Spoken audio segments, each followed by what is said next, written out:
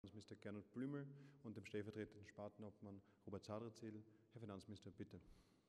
Grüß Gott, meine sehr geehrten Damen und Herren, vielen Dank fürs Kommen. Äh, wir wollen Ihnen heute einerseits einen Überblick geben, äh, wie weit der Umsetzungsstand der bisher äh, gesetzten Maßnahmen gelaufen ist und darüber hinaus auch weitere Maßnahmen verkünden, wie es leichter werden kann für Unternehmen, die Liquiditätsschwierigkeiten haben, diese herausfordernde Zeit zu überbrücken. Äh, Sie wissen, wir haben als Bundesregierung einen Schutzschirm über die Volkswirtschaft von 38 Milliarden Euro gespannt. Äh, dieser umfasst mehrere Bereiche. Einer davon ist die Möglichkeit, dass Unternehmerinnen und Unternehmer äh, Steuerstundungen beantragen können oder die Herabsetzung der Steuervorauszahlung beantragen können. Das läuft auf Hochtouren. Bisher wurde davon 62.700 Mal Gebrauch gemacht. 62.700 Mal wurde das beantragt und über 60.000 dieser Anträge sind bereits positiv erledigt. Das ist ein ähm, Äquivalent zu einem Volumen von ca. 2 Milliarden Euro. Also durch diese Maßnahme verbleiben derzeit 2 Milliarden Euro mehr an Liquidität in den Unternehmen für diese schwierige Zeit. Ein zweiter Bereich sind ähm, die Garantien und Haftungen, die der Bund übernehmen wird, von bis zu 9 Milliarden Euro. Hier haben wir ja verschiedene Förderinstrumente, die es bereits gibt, die wir für diese Abwicklung nutzen wollen und neue werden dazukommen. Von denen, die es bereits gibt, äh, zählt die Kontrollbank dazu für Exportkreditgarantien beispielsweise. Hier haben wir die Mittel um zusätzlich 2 Milliarden Euro aufgestockt und äh, das wird sehr, sehr gut äh, auch angenommen. Bei der AWS stocken wir jetzt auf bis zu 1,25 Milliarden Euro den Haftungsrahmen aus und bei der ÖHD bis zu 625 Milliarden Euro. Hier gibt es traditionelle Instrumente, die bekannt sind, wo auch die Abläufe beschleunigt werden, äh, um eben schneller auch zu diesen Garantien kommen zu können.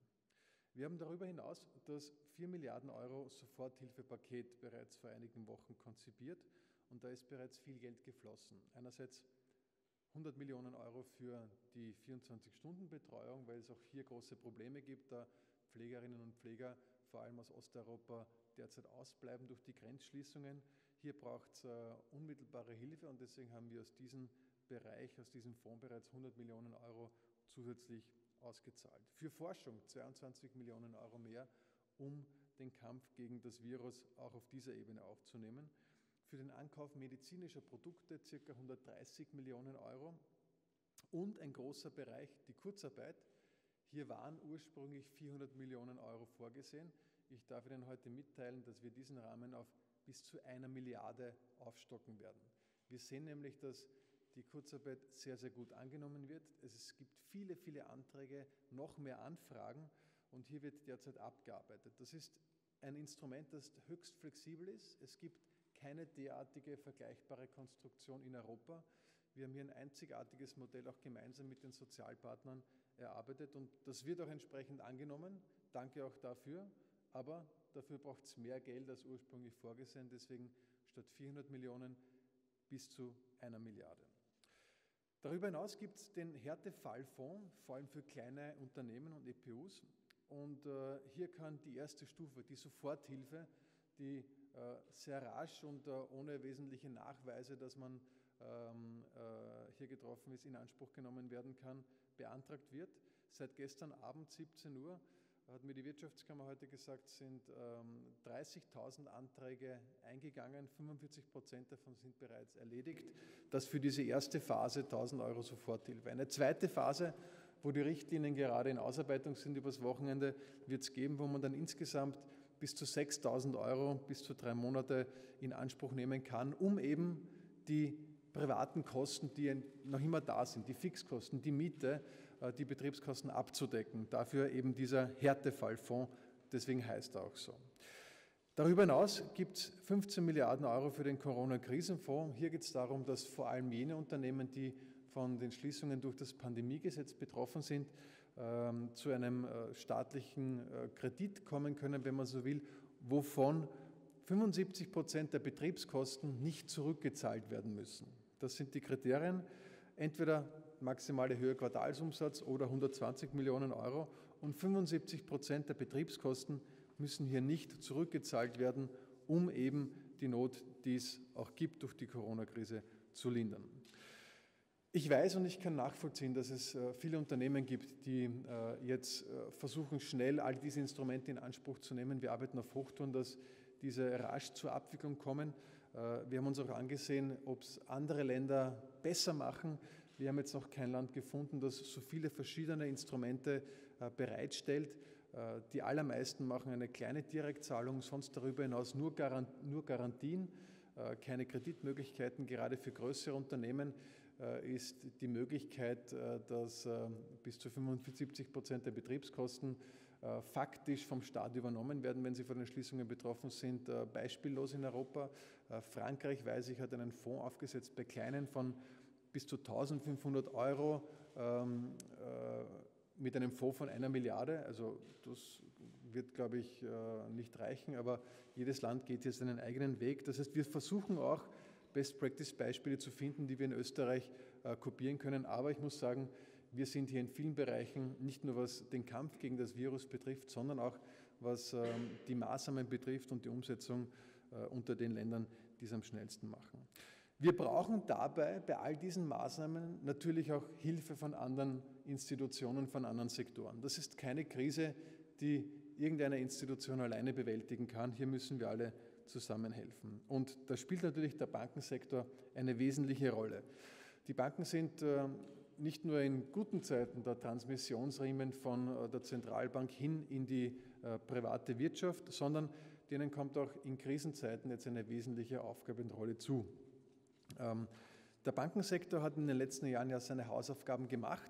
Es steht gut da in Österreich.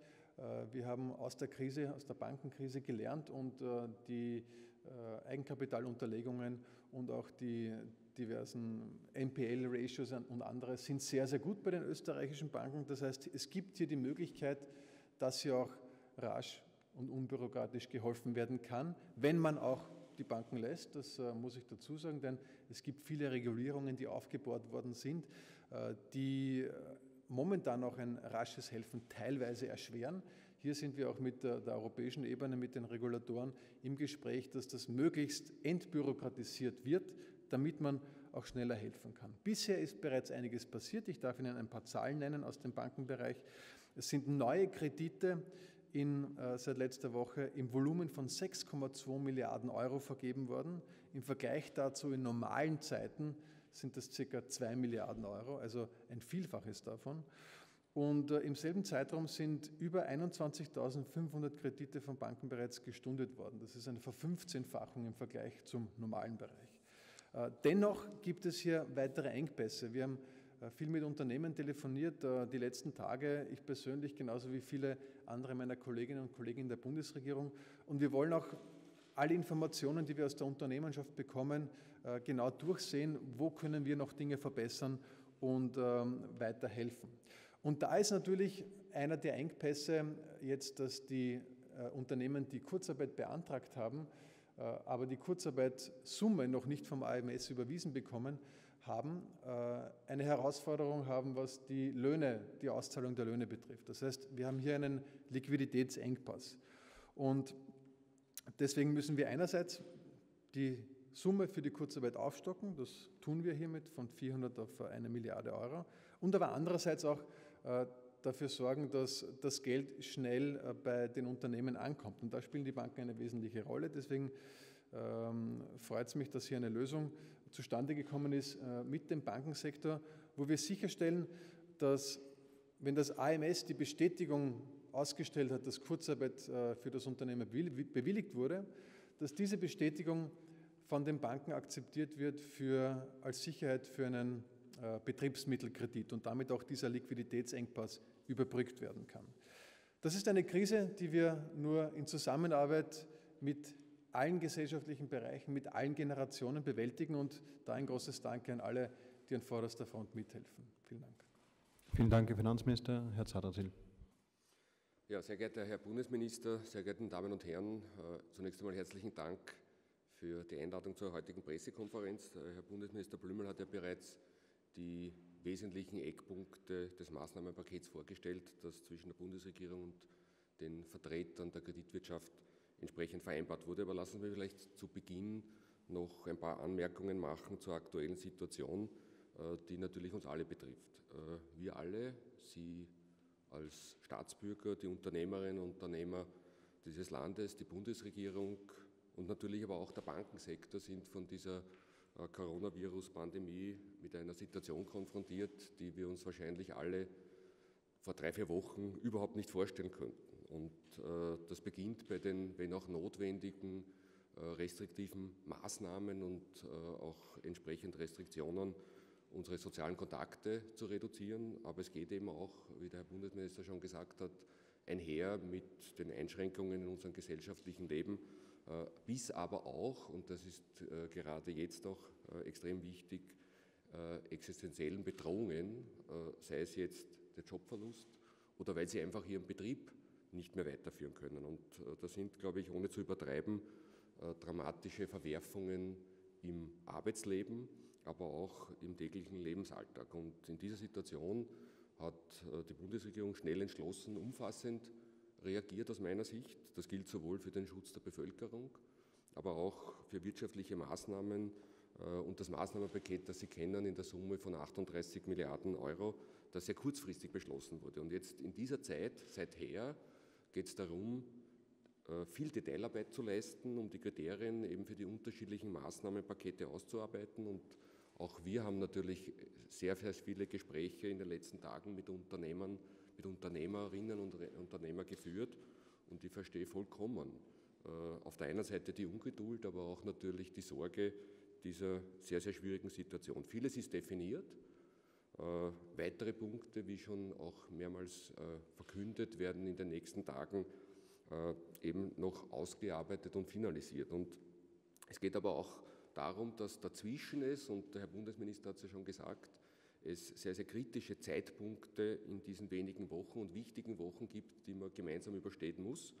Und einer dieser äußerst kritischen Zeitpunkte ist eben jetzt für viele Unternehmen die Zahlung der Gehälter äh, mit Ende März. Und gerade die von der Bundesregierung, äh, wir haben es auch jetzt äh, vorher noch einmal gehört, gesetzten Schritte im Bereich der Kurzarbeit sind ja ein sehr wertvolles Instrument und durchaus einzigartig, um eben hier noch größeren Schaden für die Unternehmen in unserem Land äh, abzuwenden. Und diese so wichtigen Mittel äh, des AMS stehen aber eben nicht sofort zur Verfügung und daher ist in vielen Fällen äh, eben eine Liquiditätsüberbrückung erforderlich und notwendig. Und es hat also hier in den letzten Tagen mit den zuständigen Ministerien, mit der Wirtschaftskammer und mit dem AMS intensive Gespräche gegeben, wie die Kreditwirtschaft hier eben diese Vorfinanzierung der AMS-Zahlungen durchführen kann. Und damit soll eben sichergestellt werden, dass genau für Unternehmen diese kritische Phase jetzt Ende März, dieser Liquiditätsbedarf auch äh, entsprechend äh, äh, überbrückt werden kann, damit eben die Gehälter in dieser Zeit auch entsprechend fließen können. Lassen Sie mir vielleicht sehr konkret die Maßnahmen vorstellen. Grundsätzlich gibt es zwei Möglichkeiten. Äh, das eine ist eben die Finanzierung über das schon bekannte Institut, äh, äh Instrument der AWS-Garantien. Das heißt, bei jenen Unternehmen, bei denen hier AWS-Garantieinstrumentarien angewendet werden, äh, kann auf das zurückgegriffen werden und um eben die Finanzierung für die Kurzarbeit auch entsprechend sicherzustellen. Auf der anderen Seite gibt es aber hier ein rein kreditfinanziertes Kurzarbeitsmodell. Das, was soll das heißen? Das heißt also hier wird die Vorfinanzierungen äh, der Gehaltszahlungen im Rahmen des Kurzarbeitsmodells äh, über eine Überbrückungsfinanzierung äh, Betriebsmittelkredit seitens der Hausbank gewährleistet. Was müssen jetzt Sie ganz konkret als Unternehmer tun, um diese Überbrückungsfinanzierung auch entsprechend zu erhalten? Der erste Schritt, und das ist der wichtigste einmal, dass Sie eben, ist die Antragstellung auf Kurzarbeit beim AMAS. Das AMS prüft diesen Antrag der Unternehmen so rasch wie möglich und genehmigt eben den Rahmen für Kurzarbeit.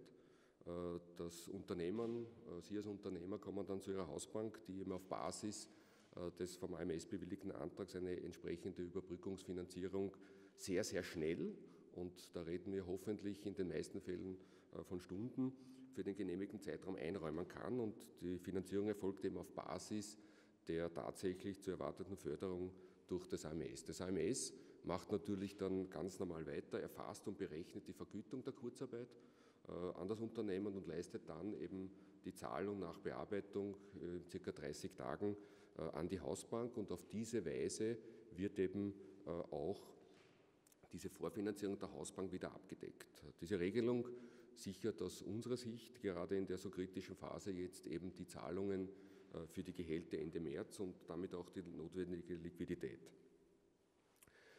Äh, was wichtig ist, äh, die gesamte Kreditwirtschaft hat sich äh, hier bereit erklärt, diese freiwillige Selbstverpflichtung ab sofort umzusetzen und damit, wie wir glauben, einen sehr unbürokratischen Beitrag zur Überbrückung der nun zum Monatsende aufgetretenen Problematik auch zu leisten. Wir sind als Kreditwirtschaft, und das möchte ich schon auch an dieser Stelle, erlauben Sie mir das nochmal betonen, ein verlässlicher Partner. Der Herr Bundesminister hat schon gesagt, nicht nur in den guten, sondern auch in dieser außergewöhnlich schwierigen Situation. Und glauben Sie mir, dass trotz der schon angesprochenen in den letzten Jahren so umfangreich gewordenen regulatorischen Rahmen alle Mitarbeiterinnen und Mitarbeiter in allen Banken rasch und unbürokratisch, wie es nur irgendwie möglich ist, helfen werden, äh, weil uns natürlich bewusst, wer schnell hilft, der hilft auch doppelt.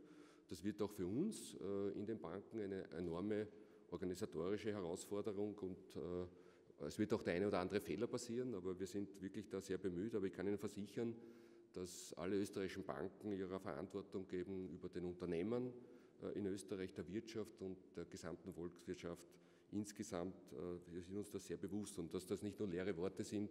Ich möchte die Zahlen nicht noch einmal erwähnen. Ich äh, glaube, hat der Herr Bundesminister schon eben angeführt. Nur noch mal trotzdem kurz die 22.000 Stundungen, die, das 15-fache, die 6 Milliarden die zusätzlich jetzt einmal äh, auch außerhalb des Maßnahmenpakets hier in den letzten zwei Wochen und eben wie angesprochen, das ist ein Dreifaches äh, äh, hier vergeben worden. Auch die ÖKB hat also hier Kreditgarantien im Ausmaß von 1,8 Milliarden schon bereitgestellt. Wir werden auch in den nächsten Wochen, und das kann Ihnen garantieren, alles daran setzen, dass wenn immer irgendwo auch zeitkritische Probleme wie jetzt mit dem Thema Kurzarbeit und der Vorfinanzierung auftreten, pragmatische Lösungen zu finden. Äh, ich glaube, das hat auch hier gezeigt, dieser Prozess, dass es uns sehr gut gelingt, in Österreich übergreifend hier tätig zu sein, alle notwendigen Personen sehr, sehr schnell an den Tisch zu bringen. Und das kann ich garantieren und bin zuversichtlich, dass wir auch diese außergewöhnlich schwierige Zeit auch entsprechend damit gemeinsam bewältigen können. Dankeschön. Vielen Dank. Ähm, Gibt es Fragen? Wir fangen mit Frau Dannhauser an. Äh, Herr Minister, könnten Sie uns noch einmal kurz zusammenfassen, wie viele Anträge zur Kurzarbeit gibt es derzeit und um welche Summen geht es da und wie viele Leute sind da angemeldet? Das wäre die eine Frage. Und die zweite, der Vizekanzler hat äh, heute gemeint, dass dieser Härtefallfonds im Bezirkkreis ausgeweitet werden soll. Äh, ist das so? Wann und wann würde das kommen und auf welchen Kreis würde das erweitert werden? Also zur ersten Frage, äh, konkrete Zahlen hat das AMS bzw. das Arbeitsministerium. Äh, ich habe gestern mit dem Johannes Kopf telefoniert, das sind Tausende und es wird so schnell wie möglich versucht, hier abzuarbeiten. Aber äh, das braucht natürlich auch ein wenig Zeit. Das ist ein, ein, ein, ein vielhundertfaches von dem, was normalerweise in normalen Zeiten reinkommt. Aber hier weiß ich, dass auf Hochdruck gearbeitet wird. Zur zweiten Frage. Ähm, die erste Phase dieses äh, Härtefallfonds hat mit gestern gestartet. Übers Wochenende arbeiten wir die zweite Phase aus. Da wird es natürlich Änderungen geben, sonst braucht es auch keine zweite Phase. Und das kann ich Ihnen ab äh, kommender Woche sagen, was da die genauen Kriterien sind. Bitte hier Grüße, Angelides von ATV.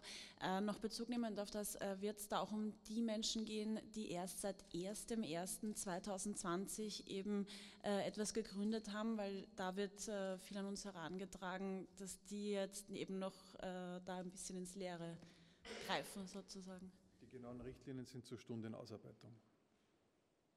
Gibt's, wenn es hier keine Fragen mehr gibt, dann würde ich zur APA gehen mit den Danke. Äh, ich habe mehrere Fragen.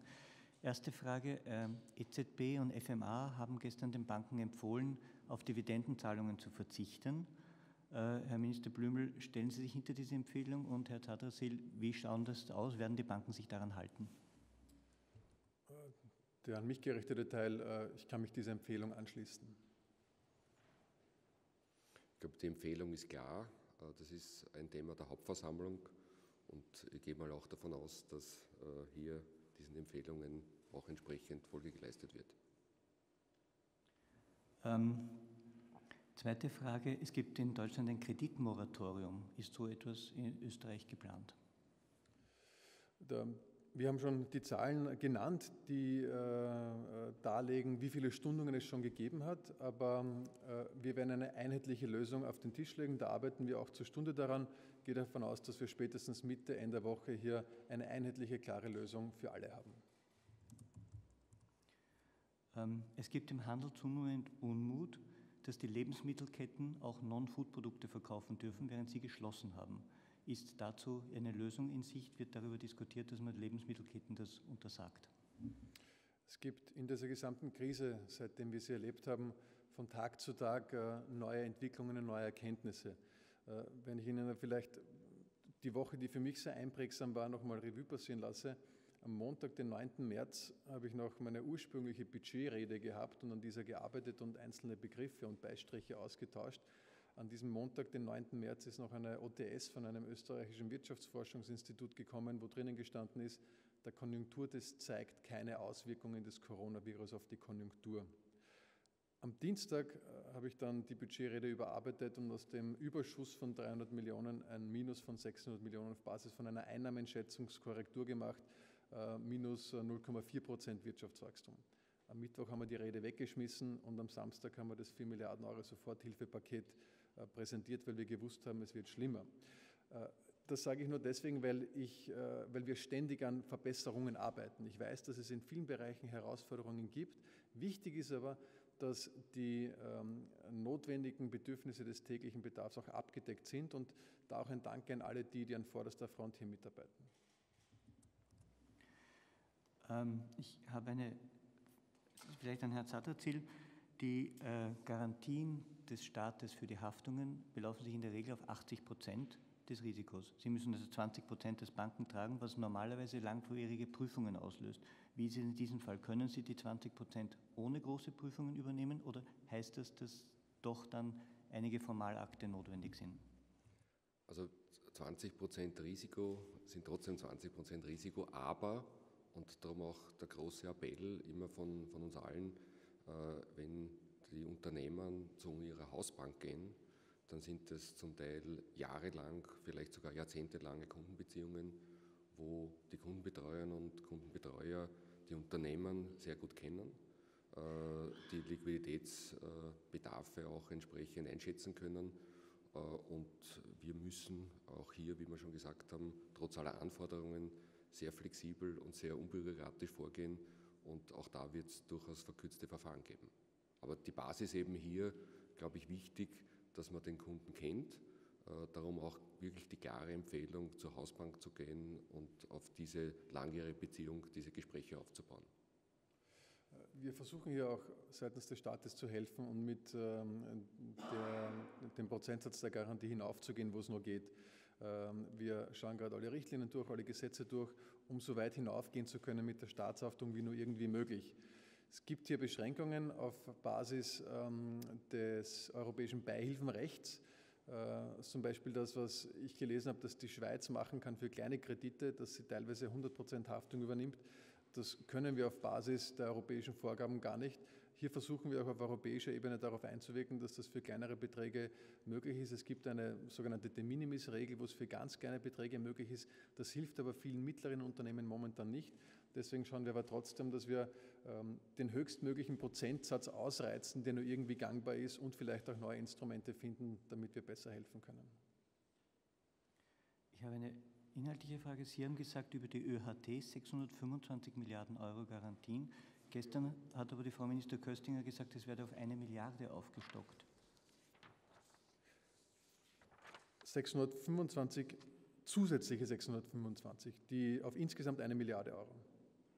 Ach so. Die ÖHD hat bisher ähm, ca. 300 Millionen Euro ähm, Garantievolumen und es wird aufgestockt auf insgesamt eine Milliarde Euro um ca. 625 Millionen Euro.